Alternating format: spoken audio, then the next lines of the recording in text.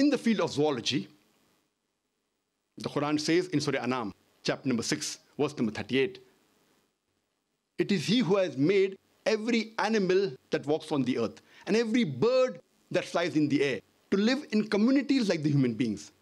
Today, science agrees that even the animals and the birds live in communities like the human beings, which was not known earlier. The Quran speaks about the lifestyle of the bee in Surah Nahl, chapter number 16, verse number 68 and 69. The Quran speaks about the lifestyle of the spider in Surah Ankabut, chapter number 29, verse number 41. The Quran speaks about the lifestyle and the communication of ants in Surah Namal, chapter number 27, verse number 17 and 18.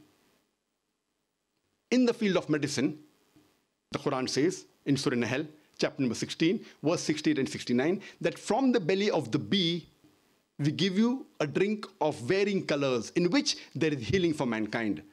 It is recently we have come to know that the honey that we have is obtained from the belly of the bee. And today science agrees that there are mild antiseptic properties in honey and it is even a healing for mankind.